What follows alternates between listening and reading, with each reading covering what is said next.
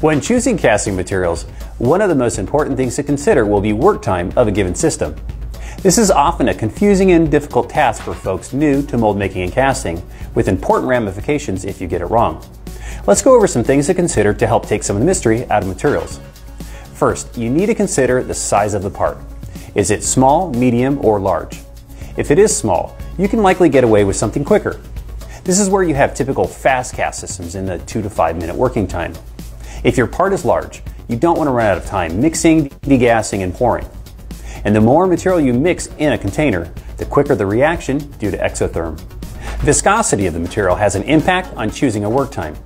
If a material is thin, you can fill a mold easier and quicker. If it is a little thicker, mixing, degassing obviously takes a little longer. But if you have thin wall sections in a closed mold, you might need a little more time to ensure it can be filled before the material starts to gel. So considering the material's viscosity may affect which work time you choose. But don't choose materials solely on viscosity. Some systems with super low viscosity suffer from poor physical properties, and your part may need to be extra tough. Some systems with slightly higher viscosities can be dealt with if you set up your mold correctly and you have the right equipment. Then you get to reap the benefits of using a higher performance material. Production requirements. Do you need to cycle many parts in a day to keep up with production? You're going to want something faster, and you need to make sure your mold is set up correctly to allow material to get in there quick. This could mean using a tall funnel to let gravity help force material through the mold, or you could look at dispense equipment.